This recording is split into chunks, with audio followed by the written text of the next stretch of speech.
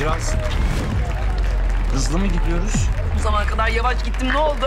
Merhaba arkadaşlar, Bahar dizisi Show TV'nin iddialı yapımları arasına girmeyi başardı. Üstelik 3 bölüm gibi kısa bir sürede hem de. Uyarlama bir dizi olan Bahar, ülkemizde de çok ilgi gördü gerçekten. İnsanları ekrana kitledi diyebiliriz. Bahar tıp bölümü mezunu çiçeği burnunda bir doktorken, Timur'la evlendi ve iki çocukları oldu, yani kısacası ömrü Timur'la geçti gitti. 40'lı yaşlarına geldiğinde bir hastalık geçirdi, bu hastalık biraz riskliydi ve organ nakliyle iyileşme olasılığı çok yüksekti. Kocası ise organ naklini kabul etmedi. Bu durumdan sonra Bahar artık eski Bahar değildi.